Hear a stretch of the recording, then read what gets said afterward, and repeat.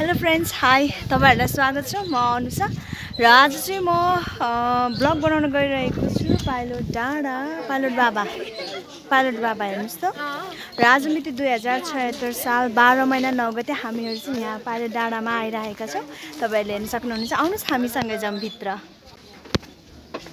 उहाँ चाहिँ हुनुहुन्छ टिकट काउन्टर दाई र तपाईँहरूले देख्न सक्नुहुनेछ। हामीहरू चाहिँ पाइलट डाँडा यो भित्र हामी गइसक्यौँ।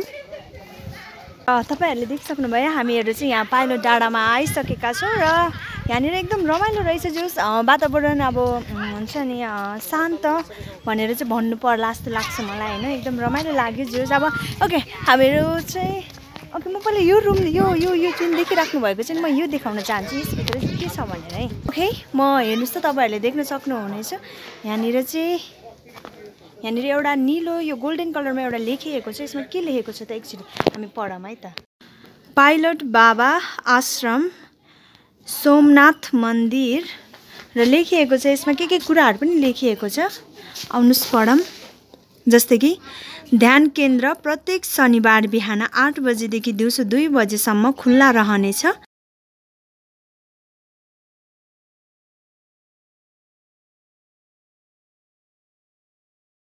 र भनेपछि चाहिँ यहाँनिर चाहिँ मेडिटेसनको लागि पनि एकदम राम्रो रहेछ भनेर भन्नु पर्ला है त। यदि तपाईँहरूको मेडिटेसन गर्नु हुनुहुन्छ यदि यतै वरिपरि नजिकै तपाईँहरू हुनुहुन्छ भने चाहिँ तपाईँहरूले पनि तपाईँहरू पनि आएर चाहिँ बनाउन सक्नुहुनेछ भनेर भन्न चाहन्छौँ है उहाँहरू फोटो खिच्दै हुनुहुन्छ। देख्न सक्नुहुनेछ एकदम रमाइलो गरिराख्नु भएको छ। र फाइनल्ली अब चाहिँ हामीहरू मन्दिरभित्र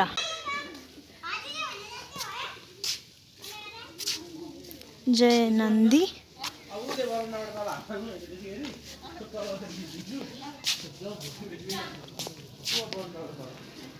जय भोलेनाथ र अब चाहिँ हामी मन्दिरभित्र प्रवेश गर्दैछौँ। र तपाईँहरूले देख्न सक्नुहुनेछ यहाँनिर वा क्या दामी हेर्नुहोस् त कस्तो दामी हेर्नुहोस् त। वाउ कस्तो लाग्यो एकदम राम्रो छ है यो डाँडा हेर्नुहोस् त। है? वा मलाई त एकदम राम्रो लाग्यो। अब अझ धेरै साथीहरूसँग आउनु पाएको भए झन् कति धेरै रमाइलो लाग्थ्यो हो होइन? तर त्यही पनि ठिकै छ हेर्नु न गाउँहरू कति दामी गाउँहरू कस्तो राम्रो हेर्नुहोस् त भ्यू। ओ माई गड एकदम लभली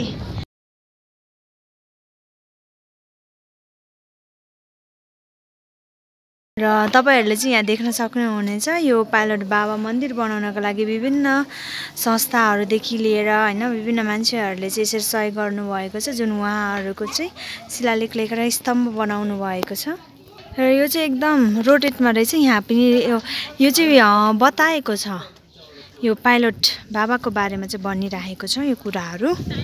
र त्यसै गरी यहाँनिर पनि तपाईँहरूले देख्न सक्नुहुनेछ। यहाँ पनि तपाईँहरूले देख्न सक्नुहुनेछ। ल हेर्न सक्नुहुनेछ यो चाहिँ पाइलट बाबाको भ्यू।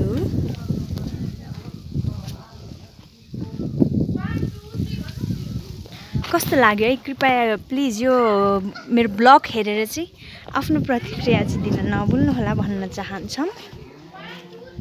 देख्न सक्नुहुनेछ। यसरी डाँडै डाँडै एकदम हाइट रहेछ। र उफु त्यो हेर्नुहोस् त त्यहाँनिर हामी पनि जान्छौँ है त। केही समय तपाईँहरूलाई पनि हामी लैजानेछौँ।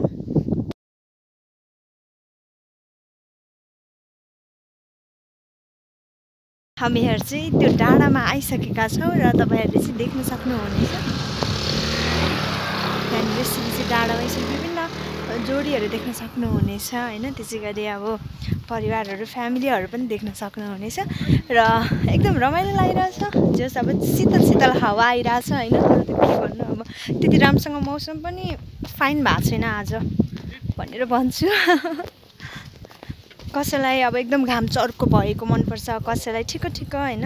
कसैलाई चाहिँ घामै नलागेको मनपर्छ। तर मलाई चाहिँ यस्तो मौसम मनपर्छ जुन हल्का र हामी चाहिँ तपाईँहरूलाई काठमाडौँ डाँडा जुन अब जुन यो पाइलो डाँडाबाट देख्ने यो काठमाडौँ सहर चाहिँ देखाउन जाँदैछौँ है त। कान्छीलाई घुमाउने काठमाडौँ सहर भनेर भन्छ नि। हो। यस। यो चाहिँ भक्तपुर रहेको छ। देख्न सक्नुहुनेछ। र एकचोटि पुरा डाँडा।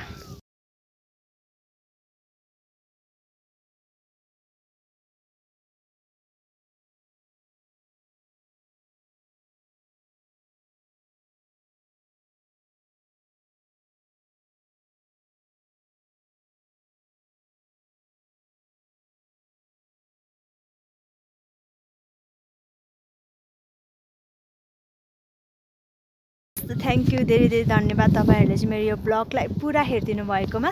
र यदि तपाईँहरू यस्तै ब्लगहरू यस्तै अब भिडियोहरू हेर्न चाहनुहुन्छ भने चाहिँ हाम्रो युट्युब च्यानल एए स्टार मिडियालाई सब्सक्राइब र बेलायकन गर्न नभुल्नु होला ओके बाई बाई